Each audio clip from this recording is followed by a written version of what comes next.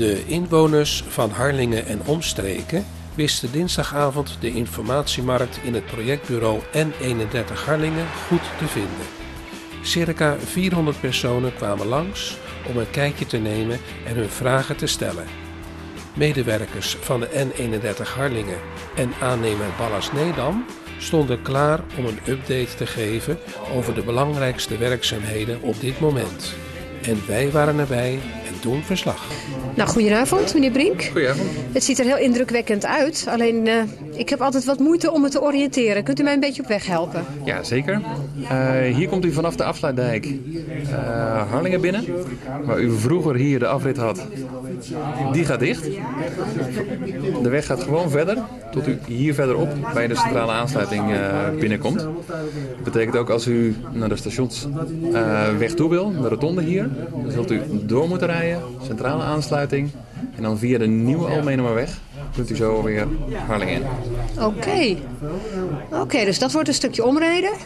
Dat wordt een klein stukje ja. omrijden ten opzichte van, uh, van, de huidige, ja. uh, van de huidige weg. Wat wel het grote voordeel is, dat je hier met de Kimswerreweg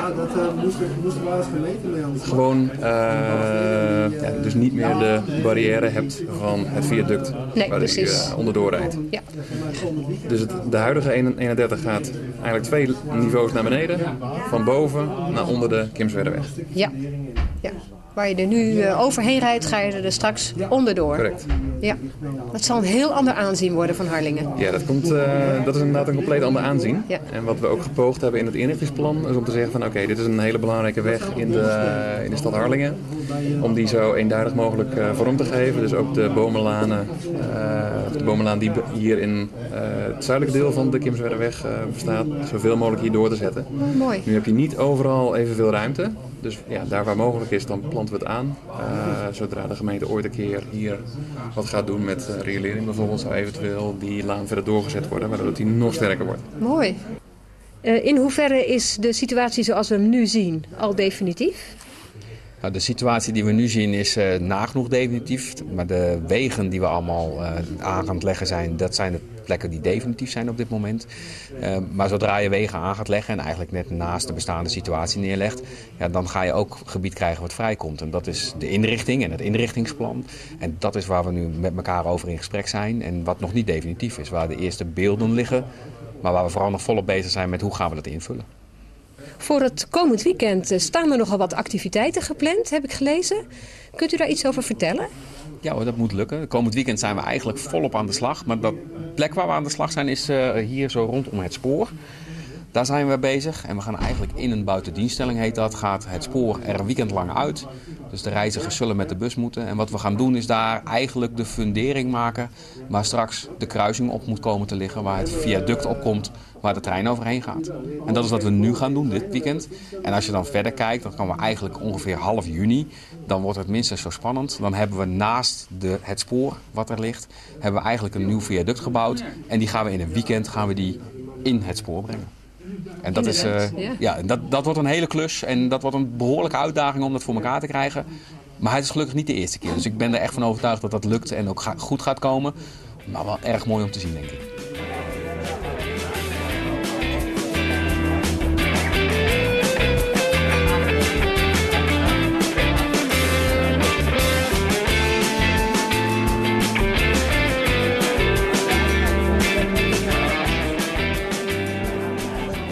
Bij het uh, aquaduct.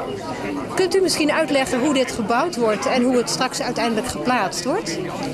Ja, ik kan een poging doen. Uh, het aquaduct wordt uh, uh, geplaatst volgens de methode opdrijven, transporteren, afzinken en onderspoelen. Dat betekent dat er gedurende de werkelijke plaatsing van het aquaduct geen stremming, geen langdurige stremming op het kanaal bevindt. Ehm, we doen dat als volgt. Er wordt eerst een, een bouwkuip aangebracht aan de noordzijde van het Van. Uh, vervolgens wordt aan de zuidzijde ook een bouwkuip geplaatst, Van Harinxmakanaal. Uh, aan beide zijden wordt een landhoofd gebouwd. En aan de noordzijde wordt vervolgens in het bouwdok, zoals we dat noemen, in die bouwkuip, wordt een, uh, een betonnen element, oftewel het aquaduct zelf, wordt, wordt, wordt voorgebouwd in de droge. Dit is gebeurd dan in het weekend. Wordt hij zo afgetransporteerd. moment dat hij goed ligt, wordt hij eh, eh, exact getrimd op de juiste positie, zodat hij overal voldoende ruimte heeft. Op dat moment wordt hij in hetzelfde weekend wordt hij neergelaten. Dan ligt hij eigenlijk rustend op de landhoofden. Op dit moment wordt er onderspoeld. Dus komt de, de, de, de zandfundatie onder het, eh, onder het element, waar hij op komt te rusten. En dan is hij weer open voor scheepvaart. En dan pas wordt dit afgebouwd en dit afgebouwd. Ja. Ja. Jongen, jongen. Hier heb ik dan geen bestaande situatie van, want er zit hierin. Maar dit is het aanzicht van het, eh, eh, van het eh, aqueduct. Achter u is Zurich en u kijkt, u rijdt nu richting Leeuwarden. En wat u dan ziet is dat er op de wandafwerking zit een soort zandribbelmotief in. En dat zou dan moeten verwijzen naar eh Harlingen Zee en nou ja, de achtergrond weer een beetje van Harlingen. Kijken we de andere kant op. En u kijkt, oh, we staan nou richting Leeuwarden te kijken. Ik zei het net verkeerd, dit is Leeuwarden. Verder.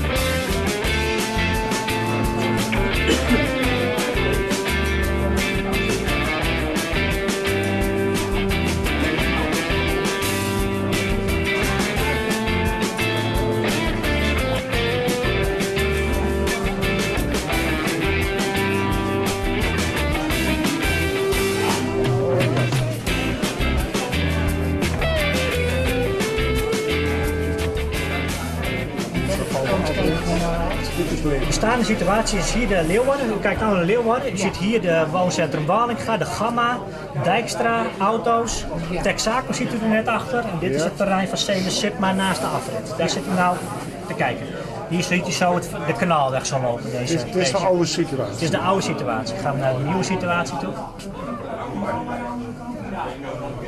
Nou, dan ziet u dat je nog steeds vanaf de grensweg naar de kanaalweg kunt, maar dat de oprit verder naar de Koningsbrug is verdwenen. Want ja, daar, daar gaan, we, gaan we de bak halen. Ja.